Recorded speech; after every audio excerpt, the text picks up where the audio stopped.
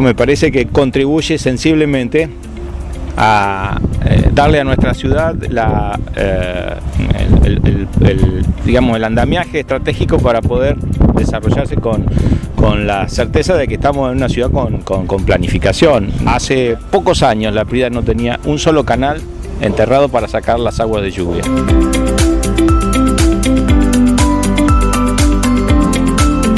Pareciera como que ya estas cuestiones no despiertan gran interés en la comunidad lapridense, pero son obras realmente estructurales para pensar en la Prida este, a muchos años por delante. Cuando empezamos con este tema de los desagües pluviales, recordarán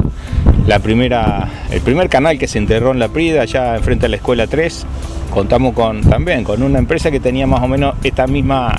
tipología y característica de trabajo. Este, un trabajo que contempla la realidad de los vecinos, con reglas de seguridad, eh, prolijo, teniendo en cuenta que es una obra que tiene un impacto importante en la vida de la comunidad, es decir, este, los vecinos a los cuales les pasa un canal de esta característica por su casa se ven este, impactados fuertemente y, por eso es muy importante que las empresas cumplan, que, sean prolijas, que sean este, eh, que se relacionen con la comunidad y que por supuesto terminen una obra en tiempo y forma como se debe. Así que muy contento.